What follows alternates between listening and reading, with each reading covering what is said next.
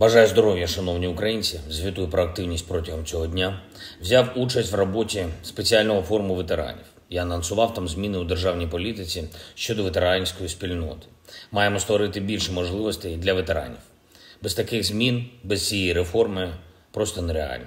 Ветерани війни, війни за незалежність України стали однією з найвагоміших і найповажніших груп в нашому суспільстві зі своєю специфікою, зі своїми потребами, зі своїми очікуваннями, на які потрібно реагувати, щоб ветерани могли зробити свій внесок не тільки у захист нашої держави на передовій, але й повоєнній розвиток України.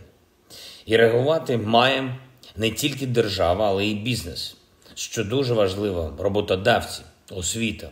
Ми створимо таку систему ветеранської політики, послуг і сервісів для ветеранів, можливостей їх переходу від військової справи до цивільного життя, яка буде на одному рівні з найсильнішими аналогічними системами у світі. Можна навести приклад ізраїльської моделі, також американської. Але наша мета в тому, щоб український досвід ветеранської політики став з часом новим прикладом для наслідування іншими у світі. Провів велику нараду з представниками сектору оборони і безпеки.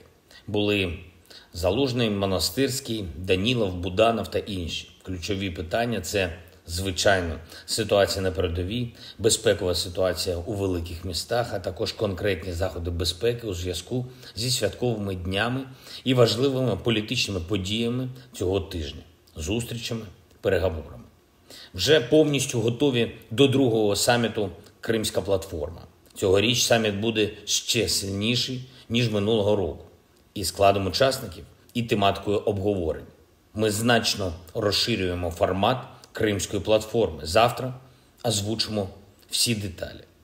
А сьогодні ще був заснований новий дипломатично-безпековий формат Київська ініціатива. В його роботі вже беруть участь європейські сусіди України: це Польща, Угорщина, Румунія, Словаччина, держави Балтії. Поступово залучимо і інші держави у форматі Київської ініціативи робота відбувається на рівні зовнішньополітичних радників глав держав з боку України.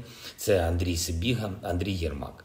І цей формат дозволить нам посилити взаємодію в регіоні, спільний захист наших інтересів, передусім безпекових. Це дуже перспективна лінія нашої роботи на євроатлантичному напрямку. Сьогодні є хороша інфраструктурна новина оновили і запустили залізничну гілку, яка з'єднує Україну і Молдову. Причому ми зробили це і на нашій території, і на території Молдови. Наша Укрзалізниця зробила. Молодці. Майже 25 років цей маршрут був закритий, а тепер знову працює на Україну. Це важливий транспортний напрямок. І середній обсяг вантажів по року може бути близько 10 мільйонів тонн. Я вдячний нашим партнерам з Молдови. Завершились пошукові роботи на місці удару окупантів по житловому будинку у Харкові. Будинок був зруйнований російським обстрілом ще минулої середи. Тільки сьогодні вдалося дістати з під завалів тіла усіх загиблих. Один цей російський удар забрав життя 19 людей. Один. А такі удари не людей в різних частинах нашої країни не припиняються вже 180 днів. Загальна кількість різних російських крилатих ракет, які Росія застосувала проти нас, наближається вже до трьох з половиною тисяч. Удари російської артилерії просто неможливо порахувати, настільки їх багато, настільки вони інтенсивні.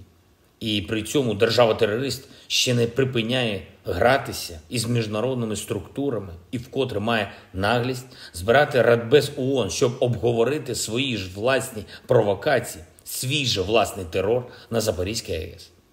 Я вдячний усім європейським політикам, які не забувають, що восьмий санкційний пакет проти Росії потрібен. Чим довше проміжок між санкційними пакетами, тим більша зухвалість Росії. Я вдячний усім нашим друзям, усім друзям свободи в різних країнах світу, які просувають необхідність визнати об'єктивну реальність і юридично визначити Росію державою терористом. Це рішення все одно з'явиться раніше чи пізніше, І питання лише в тому, скільки ще життів Росія встигне забрати, поки удари у відповідь від міжнародної спільноти не стануть дійсно відчутними для тих, хто відповідальний за цей терор. І, шановні українці, особливо цими днями, коли ми відзначаємо День нашого прапора і День нашої незалежності, якщо ви перебуваєте десь за кордоном, будь ласка, нагадуйте там про Україну, будьте там з українським прапором і поширюйте правду про злочини окупантів. Тримаймося всі разом, де б ми, українці, не були. Слава усім, хто захищає державу. Дякую усім, хто воює за Україну. Слава Україні!